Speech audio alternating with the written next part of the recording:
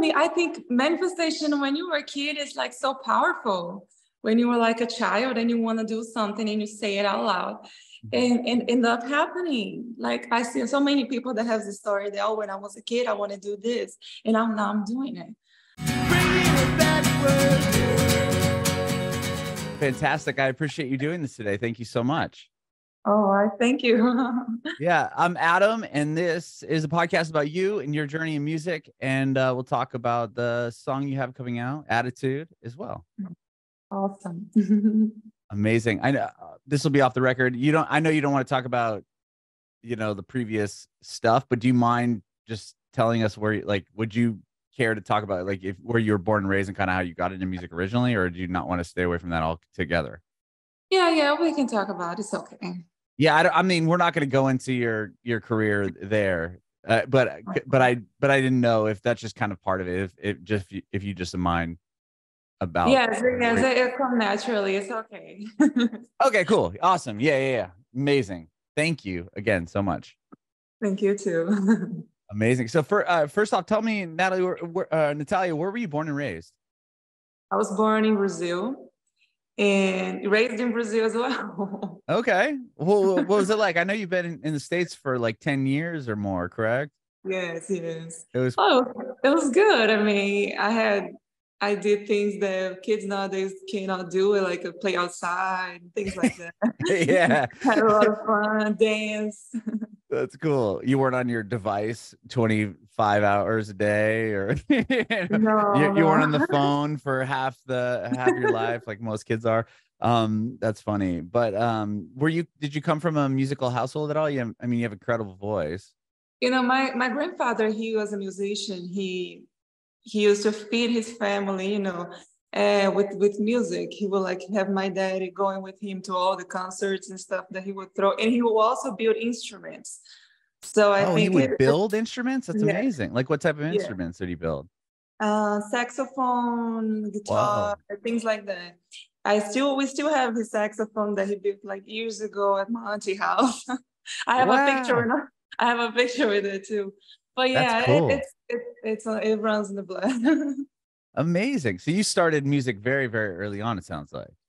Yeah, actually I first started dancing and then I I always liked to sing. And I told my daddy one day, Daddy, I think I can sing. And then I sang it to him for the first time. And then he saw the potential and, and he was like, Natalia, you gotta be ready for when an opportunity comes, you need to to take it and be ready for it. So he uh, took me to dance classes and acting classes and singing and piano and all that those things because he thinks that when opportunity comes you got to be ready for it. you cannot let it go because you're not ready for it. So he he really was my support. Yeah it sounds like he really prepared you right for he knew he knew there's something special there. He knew you had an incredible talent and he wanted to make sure that you were prepared uh, when yeah. the time came. That's amazing. And uh, and I loved it. you know, that's not something that you know parents force into the kid. I loved it. That that's that, that makes me. It's my passion. yeah, you talked about playing. So you started dancing, but you you spoke about piano. Is that something you started playing early on as well? Yeah, I took I took a few lessons and I can play a little bit. I'm not master, but I can. yeah, you can get by. That's cool. I play guitar as well. I play guitar as well. Oh, how how old were you when you started playing guitar? I was about 14, 15 years old. Wow. Did you write songs that early on too? I started writing songs when I started my career professionally. Okay. That's when I, yeah, that's when I felt the need to write my own songs and write my story. That's when I started. Wow and you've been in the states for about 10 years now. What took you um did you leave brazil to come to the united states? Yes first i came to visit and then i saw an opportunity to start my career here. I met Charvet Dudan, Concordia team and ceo and he believed in me and also his producers and all that. That's how everything started and i stayed here because everything worked out. Yeah wow. Okay so you you met this person and then you ended up were you meeting different songwriters and kind of put in different uh songwriting situations like that? To like yes, you, know, you that's kind of how your career began here in the states. Yes, I was actually sending my songs and videos to a lot of contacts that I could find while I was in Brazil. And this A&R, his name is Shota Boy, he, he, I sent my stuff to him and he introduced me to Charvet Dedon, the CEO of Concord Entertainment. And that's how everything started. Wow. That's, that must have been a big moment, right? I mean, to get yeah. that type of validation and really get your career kicked off here uh, in the United States. Wow. Definitely. Yeah. When you want something, you got to go for it. for sure. Uh, what was there like a aside from that? I mean, I'm sure that was a validating moment for you. Uh, but did you put out like a song or something that kind of then really validated that your your you know your career and in your choice to stay here in the United States? So yeah, I had uh, a few songs already that I had released, and I was doing shows in Brazil, mm-hmm. and um, everywhere. Like I was touring the whole country. So uh, they saw the success I was having, so they wanted to bring it to America. Wow. And once you got here, like I mean, uh, you've put out a couple albums and a few EPs, yeah. and um, so once you got to America, was it different, you know, releasing songs and playing here at, versus when you were in Brazil? Totally. It's like I had to start it all over. That's I bet. How, yeah because it was everything was new and how the music works here is completely different. You have to make a lot of songs, you gotta have a lot of attention to even start doing shows. And that's what I I had to face starting over. Mm-hmm. That must have been that must have been difficult because you already had you know success coming into it and it's like oh my gosh i gotta like start now from scratch again essentially right Yes, but I didn't mind that because it was my dream since I was five years old. I grew up telling my parents that I'm, I'm going to be a a superstar singing United States. I'm gonna live in the United States. Like at eight years old, I used to watch all these movies and, and I was like amazed by it. And I and I was super fan of Britney Spears, Michael Jackson, and and I was I would see Britney Spears throwing a concert and Michael, and I was like, oh my God, I want to be just like them. I want to do that. I want to dance. I want to sing. I want to perform. I mean, and then to, to years later, I mean, I know we'll get to your your song, but uh, to work with Tito Jackson, I mean, that's huge. Manifest that like when you're eight, right? totally. I think manifestation when you were a kid is like so powerful. When you were like a child and you want to do something and you say it out loud. Mm-hmm. And, and end up happening. Like I see so many people that have this story that oh, when I was a kid, I want to do this, and I'm now I'm doing it. So yeah, so I was recording the, the video with with Tito Jackson. Sometimes I'll look at him like, oh my god. yeah, like this legend. Yeah, no, it's working. I'm working with him. That's wild. yeah. The the EP you put out um called Bad Girl, was that put out here in the States? Is that your first kind of release when you got here? That was a single, yeah. Oh, yeah, I mean, yeah, single. Yes, no, I had um Never Say Goodbye, but it's not out on the platforms. Mm-hmm. Uh, and then Bad Girl and a few more other songs, Crazy, um, Slow, On the Floor. and it kept going. Okay. And then I and then like between that moment, I know you put out something in 2020. Was that like pre or during the pandemic or like where did mm-hmm. that kind of fall along uh with with all of that? Oh, or uh, was I am Natalia? Was that the first? Was that, that did that album come out first? Yeah, yeah. Oh, oh my god. Yeah, yeah. I'm gonna say the minute we was releasing at the time of the pandemic was Pacemaker. Okay. But before that, you had the album out. Yeah. Or, okay. I got I got the times mix. I think I had it screwed up when Don't I was. Don't worry, because my memory is awful too. so you put out a couple singles and then you put out an album in 2017 ish. Yes. Uh-huh. Okay. So what was it like? You know, like what were you who are you working with and what was it like putting out that the album? Like most of the production was done by the transformers the A&R the discover me. Okay. Yeah and i worked on with 2 Chainz. I had a song with 2 Chainz uh, and other other songs. As i'm not out of the meaning was crazy uh on the floor Well, a lot of them. yeah, yeah. What was like crazy was what your first number one? Yes, uh-huh, no, on Billboard. That's huge. What was that like? It was incredible. it's like it's like those moments that wow, like oh my god, we made it, we did it. yeah, like did when you put that song out, did you know there was something special about it? Oh yes, because yeah, I wrote it from my heart. So, so when it's, I think when it's personal, when it's true, it is always special. Yeah, and then to see something that you, you know, you're vulnerable with, and you kind of put your heart into, and watch it just be, you know, embraced by everybody, and then make a number one on Billboard. That's gotta feel like such a big yeah, accomplishment, you know, obviously. Oh, you know, when I, I know when it's special when it comes easy like mm. I have mm. the song, and then I, and it just if I write that song in three minutes, in five minutes, that's it. That's it. You know, you know it's good, you, or you know it's yeah. going to be a, a, big one if it's that quick. yes. What other time? Like, do you recall another couple moments where that happened, where you just like sat down and cranked the song out, and you're like, "Wow, like this, this is good." Yeah. Attitude. oh, really? Attitude was a fast one. Attitude. Oh my God, Attitude. I got that song. Actually, I was gonna write that song for the Jacksons because I was looking for a song. Wow. So, and then when I got the song, and then just came the chorus came first to me. It just started. It's like it started playing in my head. I don't know where it come from. And then I came 18 attitude, attitude, and then I I know I had to do something with that.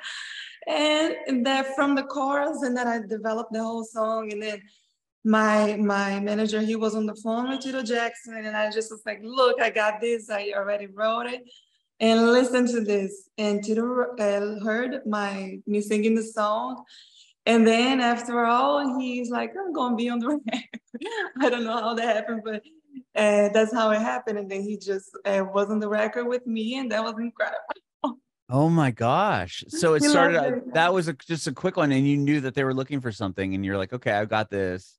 I've got this really good hook and then ended yeah. up writing the rest of it. But wow. I was like totally inspired. First of all, what a big honor and opportunity to write for the Jacksons. And, and it just, and I heard this song, this song is incredible. And I just wrote it just that quick. oh my gosh. Well, to back up a little bit, like after you put out that album and then, mm-hmm. you know, cause number, the number one was a, was around the, was that before, that was before the album, correct? Or am I totally getting confused? Yeah, yeah, yeah. Because okay. I think we got the single before, yeah. Yeah, that's what I thought. And then so after that album comes out, and um, like you have the album, you have a number one. Like, how do you do? You feel like, oh my gosh, I gotta kind of follow this up with another big hit, or like what, were, what was your mindset after you kind of make that big accomplishment? Are you like concerned about the next song you put out? Like, oh, is it gonna do the same thing, or or you don't even think that in your no, mind at all? No, no pressure at all. I just live in the moment and just just things just happen, just flowing naturally, easily. Oh wow. Okay. So nothing because I've I've talked to other artists that are like, yeah, you know, yeah, like I you, you gotta tr- especially now with like the TikTok songs that are blowing up. Like obviously you've had a, a career, a l- longevity and everything else, but some people that'll put one out right and then it like hits and then they're like, scrambling like how do i do this again you know how do i do this again? But because of your experience it probably you didn't feel the same the same pressure? No not at all not at all. Wow. i think uh, when you get a good song and then you just come and write to write this song things gotta happen naturally for it to be special and like and happen in mm. life. So i just have the mindset that nothing is gonna pressure me into doing a song just for it to be a hit Mm-hmm. But because it's good. Yeah. It's and you write both still in Spanish and English? Mm-hmm. Do you, you, do you, you, you have some songs in Spanish and obviously in English as oh, well. Yeah. Do you, when you go down to write, is it like, do you have, how did, you know, does it come naturally in that way too? You're like, okay, this is going to be a song in English. Cause even up until your 2020 release, you kind of had both yeah, I have like a version. I have a version of it. Like I, I first I wrote it in English and then I made a version of it in Spanish. Oh, okay. so no, like I, am basically just kind of translated or yeah. Is that difficult to do? I mean, translate the same song. Yeah, yeah. Yes, you got to sing it differently, or Mm-hmm, because you gotta not only cannot you cannot like sometimes you can't literally translate because it won't sound the same. So you just gotta change it around. Mm-hmm. Yeah, because you gotta like have the same impact. I like to have like a song to be like one flow, and if I translate it like like just translate it just like it is, it won't have the same feel. So yeah, right. change it around. Yeah. was there a song that you can remember that was kind of difficult to do that? Mm, I think all of it. It kind of oh, reminds me of what I'm thinking. it's like made like a puzzle. Yeah, I bet because you have all this. You have the whole English song done, and you're like, okay, how am I going to, you know, yeah, exactly. Like you said like write it in Spanish, but then also have it make the same impact, but also be able to present it in a similar way as far as like an inflection in your voice, maybe, or just singing in the same, you know, key or timing. Yeah. Yeah, that's how it is. That's exactly how the process is. Just like oh my mind. Same way uh, um, well, okay, so you get this opportunity to work with Tito Jackson. Uh, you had a song, another song that came out this year, correct? Before that one, or because this one's coming out soon. That 17th. was the EP, EP Divination that came before. Yeah, yeah, that was the end of last year or this year. No, I think it was, it was last year. Yeah, I think it was last year, right? Two years ago. Yeah. I'm more for timelines. okay. Well, what can you tell me about that EP? Oh, the EP was amazing. It was it's one of the most the, that I'm most proud of because I wrote most of the songs. I wrote all the songs actually. so there are a lot of songs that are very special to me. Pacemaker, of course. Mm-hmm. If I could, Love Me. All the songs are, are real special. Real beautiful. Everybody should check it out because it's really good. no, yeah, Pacemaker is a huge song. I know it streams um, you know on, on Spotify and everything really well, but all, same with all the other ones. I mean, Oh Na Na and Love Me. Uh, going into that, was that that project something that you when you were writing it did you know is going to become like a full like because it's really a cohesive right i mean you listen to it through and it makes sense like was that something that you knew that was going to come out of this or was it you were just writing the songs and then you're like oh wow i'm seeing kind of a theme here. Yeah actually you never know like what's going to come out until it is done and until you see people's reaction to it but my uh, my personal opinion like uh, it's, it counts to me, of course, it counts a lot because we, me and my and my manager, we choose the songs to put on the EP, and I write to it, and he was like, Casey has very, very good ear for music, so it's like this is great. And I was like, this is great. This is going. This is not going. This is going. Mm-hmm. So yeah, I listen to him a lot in that sense because he knows hits. Yeah, yeah, I bet it's nice. Probably nice having someone that has that good of an ear to kind of help you make those choices. Because I bet that's difficult, right? I mean, you probably love all the songs you write, and you're like, well, these all should make the oh, album. No. Oh no! Oh really? You don't? I don't love all the songs that I write. In fact, I love some songs. Some others like like oh that's too silly. and then do you not just even do you even present them, or are you just like I'm gonna scratch this? Yeah, sometimes I presented songs I didn't like. That's funny. But yeah, yeah, it's part of the game. Well, yeah. Oh, Other well, people like it. I yeah, like I mean, I guess you just have to see, right? You're like, I'm not yeah. a whole, I'm not totally in love with this, but someone might be like, oh, this is, a, you know, I love this, right? That's right. Uh, well, so go the the Tito Jackson thing, like, at, like getting to meet him and work with him were you nervous at all going into that or uh not just excited i was just excited no i wasn't nervous because he's such a gentleman he's so humble so he makes you feel so comfortable so i was of course i was very uh, very honored to be around him and very excited because of all his background and, and i'm a huge fan of the jacksons and michael jackson mm-hmm.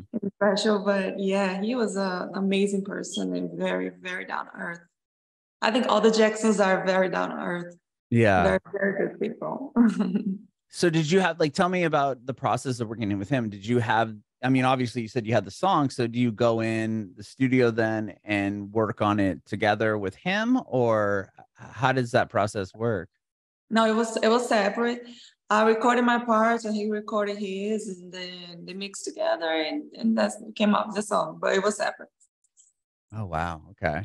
and then you did a video, right, for the song as well? Yes, recently, like last month. Wow, what no, was that like? It was, in Jan- it was in January. I, it was amazing. We worked with an amazing, amazing crew, and every, it was everything so beautiful, and everything, everything happened so, so, so, so easy. It was so everybody was on the same mindset, and, and it was beautiful. The the music video is beautiful. I can't wait for it to come out. is it coming out on the seventeenth as well with the song? Yes, it's coming out on the seventeenth. Same day. Okay. So this probably won't be out before this, or this will probably be out after the video comes out. So can you we talk about the video a little bit? Like what like what was the concept behind it? Like how did you like what what's going on in the music video that you can talk to us about? Oh, the song is like um first it starts uh, with me uh, getting ready, and then there is this magic uh, disco ball that shows up mm-hmm. out of nowhere, like magical and then I just kept into the scene where I'm with Tito and everything is bright and everything is dancing, and flowing. And the, the dream starts right there. It's like a dream. That's cool. Did you, like, and I really and it really reminds me of the moment I was getting ready on the video, how my career started, and it, when I was watching the whole the whole music video that was done, it really took me back to how I started getting ready myself and all these things, all these things happening until now with Tito Jackson to the point that I'm at right now. So it kind, of brings like, like a flashback. Yeah, you're it's you're kind of being able to reflect on your whole your whole timeline, your whole music oh, career oh, yeah. a bit. It, it, it really is really a trip. yeah. Trip down memory lane. I mean, imagine showing your eight year old self the video and being like, "Hey, this is what your life is going to look like." like, oh my goodness, I would cry because it's really like I'm living my dream. That's so special. And are you always writing music? Are you always writing new songs? Yes, I just wrote like two new songs. I don't. I wrote a song with uh, the rapper Kid Suda. Oh, and cool. I, and I just wrote a song. Uh, I'm gonna do a, uh, pretty soon. It's gonna come out. A feature with Stitches, the rapper Stitches. Really? Okay. And are you usually like, because I know you write, obviously you have the song with Tito Jackson, but you sounded like you were just writing a song for for them, correct? Or, or did yeah. was it so is that something that you do quite often is like songwrite for other people, or are you usually on most of most, if not all, the songs that you write? Yeah, right. For other people, I wrote for a few years ago. I wrote for uh, the World Cup team of Mexico for Patty oh, Cantu, Sophia. What's her name? Paty Cantú, Sophia, I forgot I forgot her last name. I'm sorry. No, it's okay. But, but yeah, uh, and I wrote for Son Tung M-TP. He's a, a, superstar in Vietnam. Oh wow. Yeah, I wrote. I write for other artists too as well. Do you enjoy that, or? oh yeah. Prefer, okay. I'm sure you prefer writing for your own art. And how do you know if it's going to be a song for somebody else or for yourself? Oh, because usually uh, my manager he comes, is like, Natalia, write a song for this person or that person can you write it? Can you do it? I I wrote a song for Janet Jackson. I submitted to her and all the all the I've got a lot of artists, yeah. Wow. So they always come to me like if I want to write something. Okay. So you can kind of cater to what their strengths are in a certain aspect or kind of go off what their yeah. sounds are. Yes. Uh-huh. I try to tap into what they would say or what they would sing it's, it's like being an actor. Right yeah it sounds like it you kind of have to figure out what they yeah what they would say and what they would sound like and what it would sound like coming from them and then write accordingly. Oh yeah that's what, yeah i love doing that. That's huge though to write the song for the world cup. I mean that like tell me about that a little bit because that's i mean the world cup is massive obviously it's the biggest thing in the world. Yes there was a world cup theme for the mexico team yeah. So they played over there everywhere and TV, all the everybody else. But a few years ago, yeah. Wow. was it is it wild like the first time you kind of heard your song on a, something like that, like a radio station or uh, television or something like that? Do you remember like hearing your first first time hearing that? Like what really impacted me uh, was the radio station here in a station and also MTV, my music, my music video showing up on MTV. I was like, oh my God, this is amazing. This is amazing. It's a dream coming true. That's so wild. Yeah. I can't even imagine what that's like. Just seeing your, you know, you're you're on the same station and you know on the television this, with this the likes of everybody you probably looked up to growing up right and people can see the hard work that that goes behind it to get to that point.